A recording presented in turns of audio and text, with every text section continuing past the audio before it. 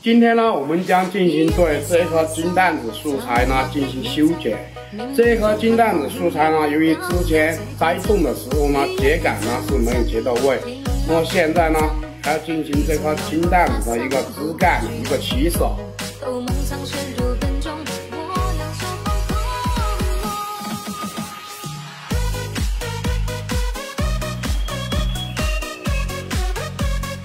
随着镜头所见呢，那么这一颗金蛋子素材，如果是在你的手里，你会怎么去取舍呢？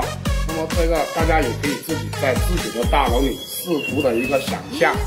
对于我呢，将如何对这颗素材进行取舍呢？那么这边跟大家分析一下，这一颗枝干呢，由于是很粗，那么过渡呢是相当的差，那么这一颗枝干呢是要被取舍的。那么右侧的这一颗枝干呢，也是相当的粗。那么这个枝干呢，还是朝一个七字形的一个方向。那么这一个枝干不要起手了。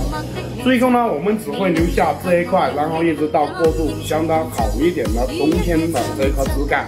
那么现在呢，我们开始进行修剪秸秆。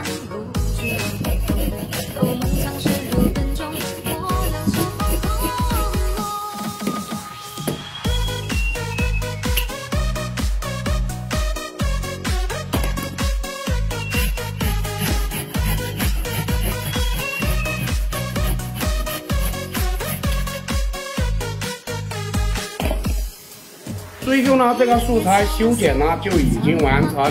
那么下一个视频呢，我们将进行对这个金蛋子的这个枝条呢进行这个嫁接，希望呢不会太晚。那么今天的这期视频呢就到这里，大家好，我是文树，请你不要点个赞，感谢关注，我们下期视频再见。